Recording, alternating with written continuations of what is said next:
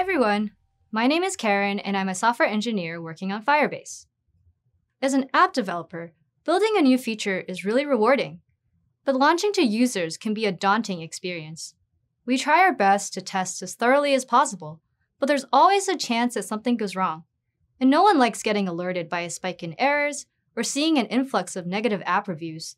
How can we build, test, and roll out a feature in a way that minimizes risk for our users?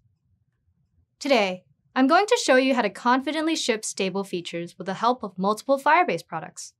First, I'll explain how you can easily test new features to gather feedback and catch issues early in the pipeline. Then, I'll describe how you can ensure that your new feature is healthy and stable before publishing to the App Store. Finally, we'll safely roll out the feature to minimize potential impact to users. Let's imagine that we're all part of a team working on a mobile app for a clothing company. The app lets customers browse and purchase items directly from their devices. Usage has grown steadily, and we now have users in many parts of the world on both Android and iOS devices. This is great. However, we're always looking for opportunities to improve the app and increase user engagement. We see that a large number of app reviews are asking for the addition of a product rating feature so users can rate and review their purchases. We think that this will increase user engagement in the app and give our customers more confidence when making purchases. But feature development takes time and iteration. We want to build an app experience that users are happy with, but we don't want to negatively impact the experience of existing users. We've decided to build this on our Android app first and see how users respond. After some time, development for the product rating feature is complete. Everyone on the team is super excited to launch this new feature.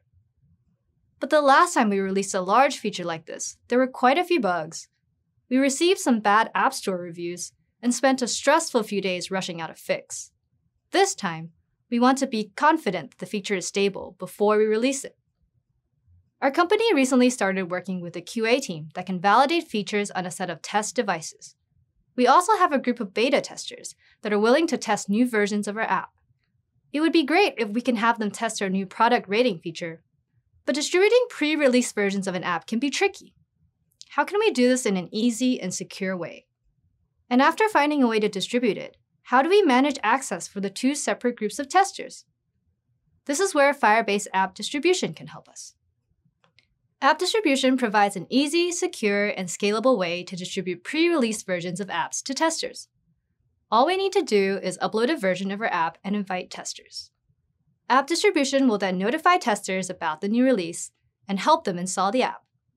It also makes it easy to control who has access to what release. In our case, we'll create separate groups for our QA team and beta testers.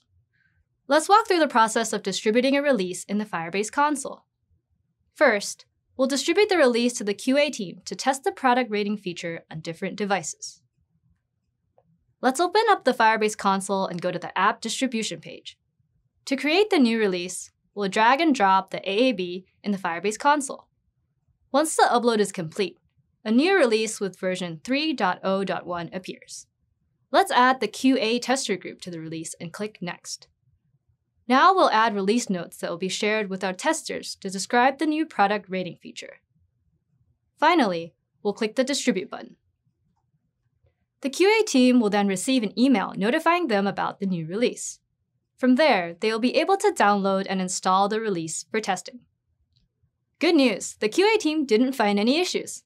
Let's now give it to our beta testers to get more feedback before we release it to our end users. On the app distribution page, we'll expand the card for the 3.0.1 release. We'll add the beta tester group to give them access.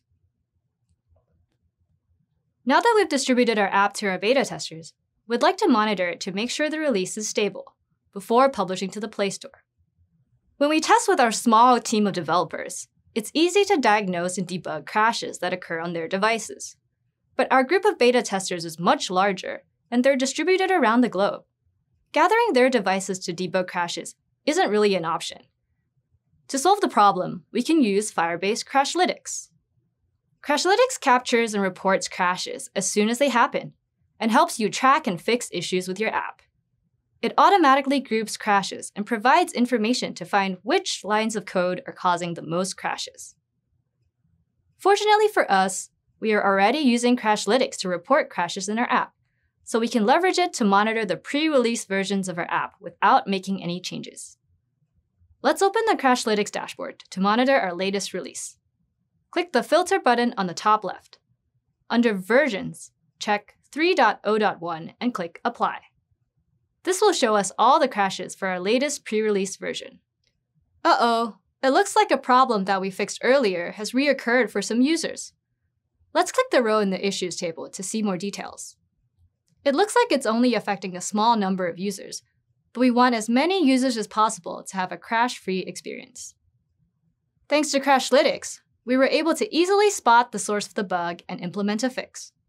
We'll follow the same steps as before and create a new 3.0.2 release and distribute it to our testers.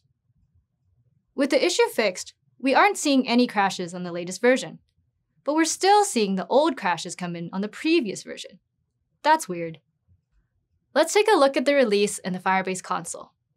Hmm. It looks like none of our beta testers have downloaded the latest version. This is a problem, we want to make sure our testers update to the latest version of our app as soon as possible. To make sure that our beta testers are on the latest version, we can add the App Distribution Android SDK to our app. The App Distribution SDK, which is available for iOS and Android, lets you display an in-app notification when a new release is available, so that you don't have to only rely on email notifications to tell your testers to upgrade. We'll add the snippet from the documentation to our app's main activities on resume method. This signs in the tester, checks for the latest release, and shows a dialog in the app whenever a new version is available. After adding the SDK to our Android app, our beta testers have been quicker to upgrade to the latest version. We continue to monitor the health of our releases, implementing fixes and redistributing to testers when necessary. We've also made a number of adjustments to the product rating feature based on feedback from our beta users.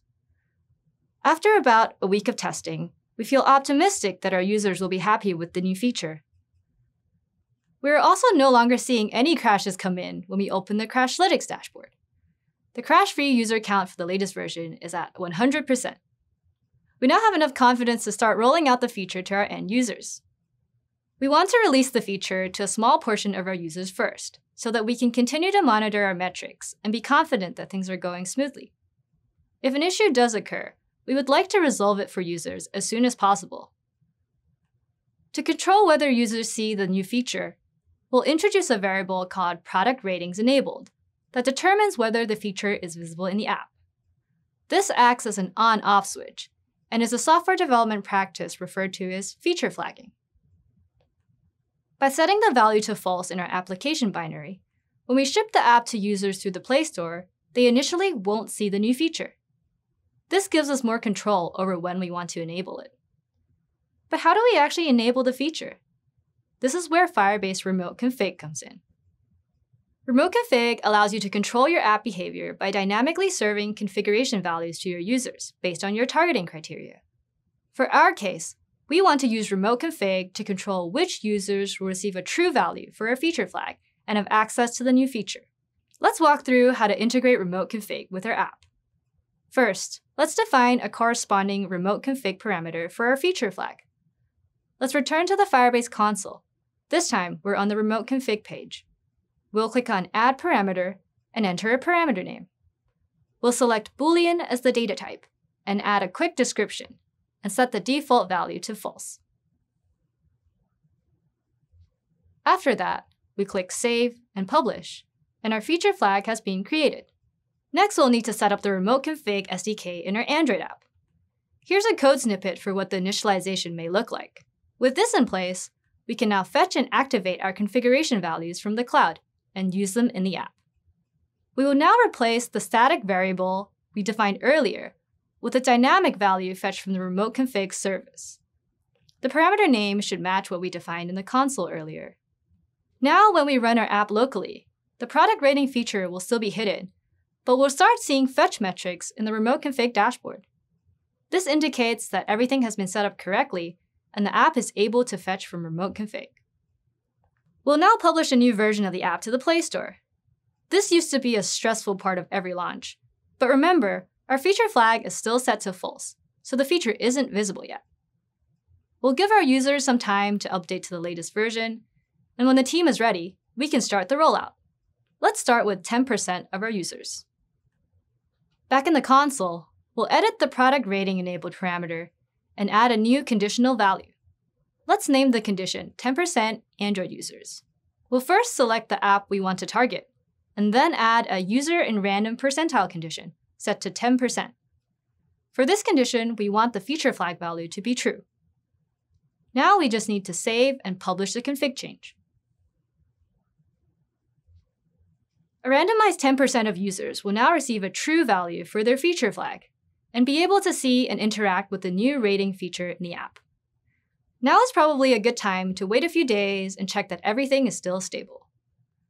Going back to the Crashlytics dashboard, everything looks good. And it looks like there are positive reviews coming in in the Play Store too. That's good to see. We now have confidence to go back to the console and gradually increase the rollout percentage until we reach 100%. That completes our launch. Our Android users are happy with the new feature, and as more users rate our products, we are seeing more user engagement in the app. This launch was a success.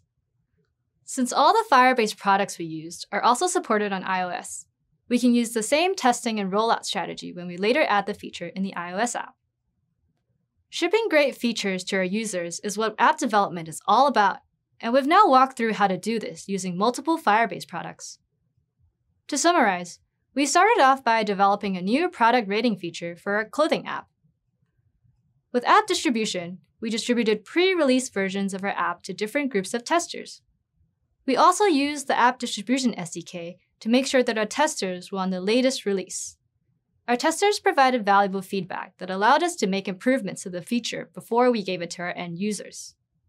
To be confident that there were no major bugs before publishing to the Play Store, we used Crashlytics to monitor the pre-releases that we sent to our testers and caught and fixed issues that would have degraded the experience for users early in the pipeline. Even though our app felt fairly stable after testing, we still wanted some early feedback from our users to ensure we were providing an improved app experience. That's why we use remote config to control which users will see our feature and slowly rolled it out to reduce the impact of a possible issue. In the end, we were able to confidently roll out the product rating feature without a hitch. I hope you've enjoyed going on this app development journey with me and have gained some insights on how to use these Firebase products when developing your own apps. Thanks for watching!